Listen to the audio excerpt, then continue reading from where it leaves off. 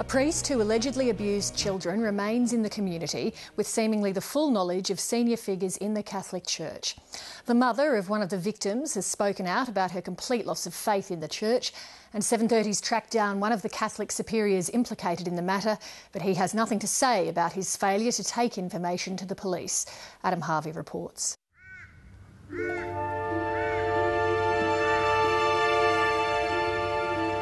Armidale, in the northern tablelands of New South Wales.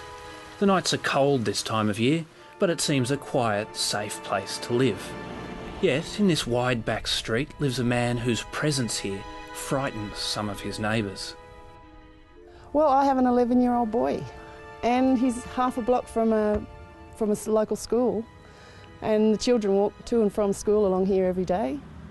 Yeah, and my boy, you know, he's out in the backyard on his own. I just is he looking at him? Is he watching him? It's raised the issues. Carol Elder says a police officer called her to warn her about the man who moved into the street three years ago. He'd lived in the area most of his life and bought the house he was renting just last month. We were advised about him when he moved in because we had a young boy. Mrs. Elder's neighbour is a former priest known as Father F. He was stripped of the priesthood in 2005, more than 20 years after he began molesting local boys. But Father F was never the type to jump back fences or creep through an open window. In the early 80s, parents didn't think twice about letting their children spend time with the priest. That's one of Damien with. Claire Jurd's son Damien was about 11 years old when Father F began taking a particular interest. We thought oh, he might have been about 11 then, about the time that he he would have been abused, I think. And then we used to go to Mass every Sunday, and then he'd cry and wouldn't want to go to Mass. And of course, I didn't know why, and, and we'd sort of virtually have to stand at the, the window and the door to make sure he didn't run away. It took Damien three years to tell anyone what had happened to him. Damien started to cry and he said he sobbed for about 10 minutes. And then he um, told him what really happened. And then Dr. Russell had the police, um, the doctor, examined him and he still had anal scarring three years after what it, when it had happened. Damien's account was never heard by a jury because after Father F was arrested in 1987, a magistrate stopped the case going to trial saying the 15 year old's credibility could not match that of the priest. Devastating for him, and yet they believed the word of a priest against. And we had so much evidence. By 1992, after Father F had moved to Sydney's Parramatta parish, the church hierarchy heard more reports that the priest was assaulting children.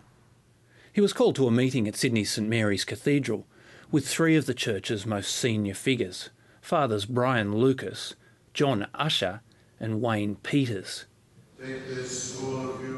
The current Archbishop of Sydney, George Pell, told Four Corners that Father F made no admissions at that meeting. But that's not the version of events outlined by one of the men present, Father Wayne Peters, in a letter written just eight days after the meeting.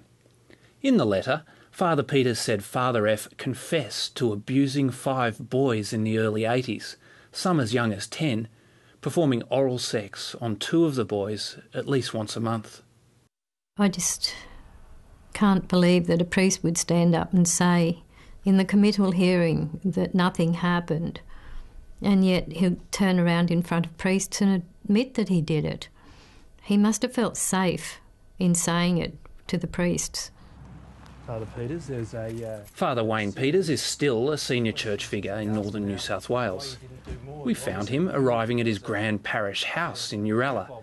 That's just 20 minutes from Father F's rundown home in Armidale. You did write a letter to senior church management, didn't you? I have no comment to make to you.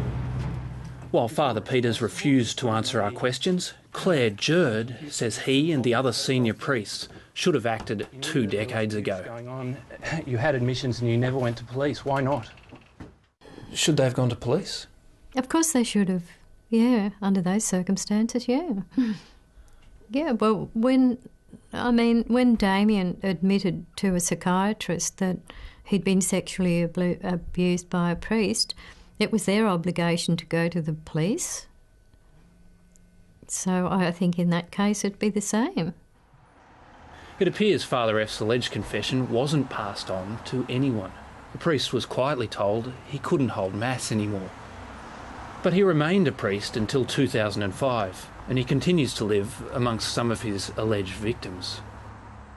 The Church says it will investigate its handling of the Father F scandal, but a statement from Archbishop George Pell seems to preempt at least some of the findings of that investigation.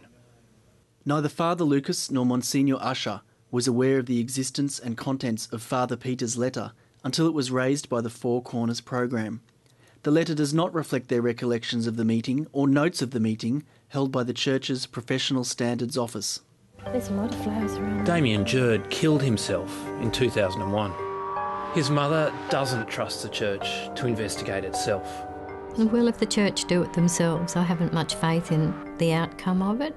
It needs someone independent to the church to look into it. And the Catholic Church has declined 730's repeated requests for an interview on this matter. We'll keep trying.